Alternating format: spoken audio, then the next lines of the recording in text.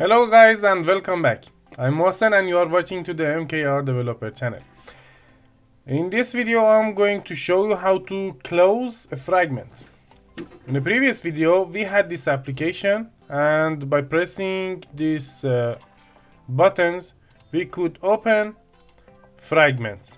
But uh, consider I have the main activity and I'm pressing a button to open the fragment and later I want to close the fragment again to use the features of the main activity.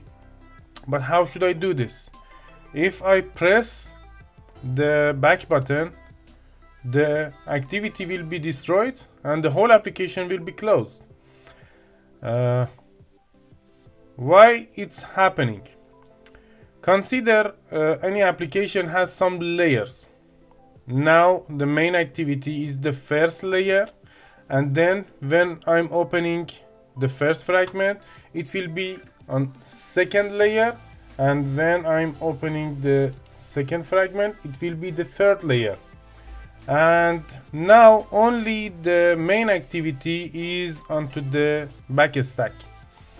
If I want to have all of these layers at the same time I have to add them into the back stack let me do this for the first fragment and you will see. Add to backstack and here I have to mention a name. It can be either something like that or I can write it just null if I don't care about the names. And let's check it again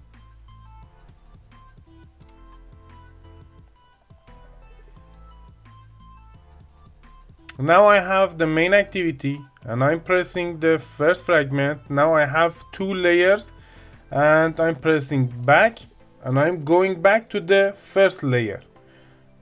Uh, here I didn't add the add to backstack for the second fragment and uh, as you see if I'm pressing this button and I'm opening the second fragment by pressing back still the application will be closed. So for this I can copy this and paste it here. And again I will check it.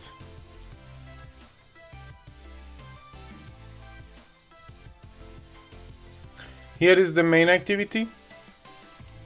The second layer will be the first fragment. The third layer will be the second fragment and I'm pressing back. I'm going back to the first fragment and then to the main activity.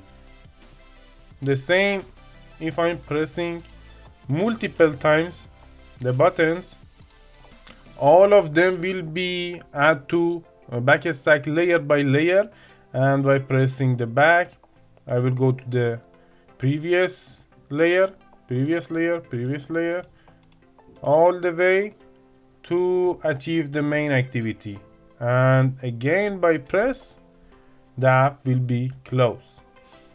So if you don't know about this code and uh, everything about this application please uh, click on this link or go to the description below and find the link of the previous video about the fragment and watch that first then come back to this video and everything that I said in this video will make sense for you. Thank you for your time. That was everything about closing a fragment.